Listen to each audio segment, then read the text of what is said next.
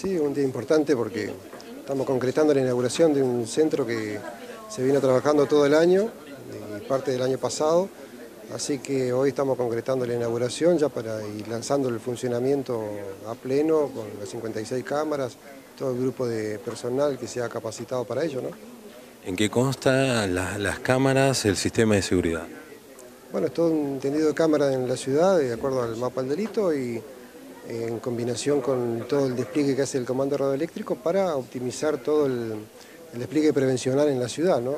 Esto bueno, es un sistema ampliable, ahora son 56 cámaras con 25 kilómetros de fibra óptica, que se puede ampliar a 200 cámaras más, eh, a 200 cámaras en total, e inclusive se lo puede llegar a vincular con el anillo fibra óptica que tiene la provincia. Entonces esto está hablando de un sistema totalmente escalable y que tiene el potencial para ampliarlo, que es lo que pretendemos también en forma paulatina. ¿no? ¿Qué tipo de herramienta es esta para el personal policial?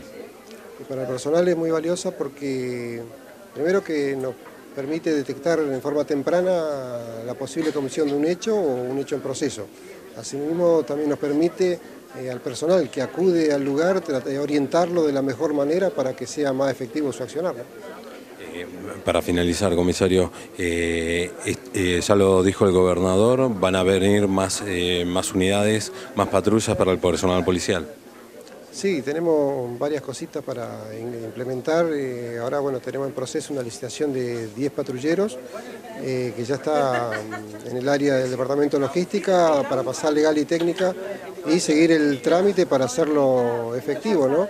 Asimismo estamos trabajando en lo que hace el recurso humano ya para el 2013 porque vamos a, aparte de la convocatoria para la formación de agentes de policía para la escuela de suboficial acá de Gallego y Caleta, eh, vamos a lanzar en forma simultánea el ciclo lectivo 2013 en Gallego, Caleta, Calafate y San Julián, para paliar el déficit de personal que tenemos con el crecimiento por ahí de las localidades. ¿no?